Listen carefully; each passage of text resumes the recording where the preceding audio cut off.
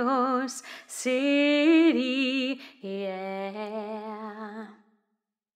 One happy birthday dot com.